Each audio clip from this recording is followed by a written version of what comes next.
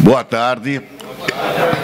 Eu sou Walter Febraio e vou declamar uma poesia cujo autor é desconhecido.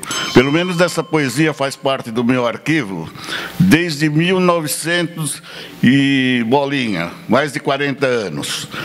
Então eu adotei ela. Eu gosto dessa poesia e adotei, tá? Não é minha, mas eu adotei. Última palavra.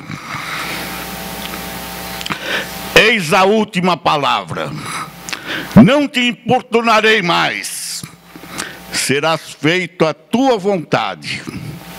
Hei de te deixar em paz. Nunca mais ouvirás meu canto. Minha voz não ouvirás.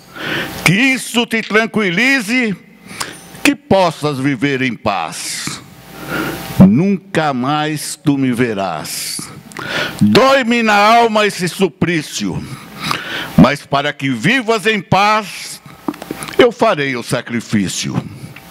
Quanta mágoa, quanta angústia essa decisão me traz, mas o vulgo maldizente há de te deixar em paz. Mas não penses que aqui morre meu povo risonho. Basta saber de tua vida para viveres no meu sonho. A lei não quer que eu te ame, nem que me acerque de ti. Tu eras fruto proibido quando um dia te conheci. E eu louvo, pois tua vontade.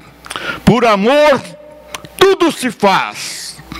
Em nome da sociedade, eu te deixarei em paz. Adeus.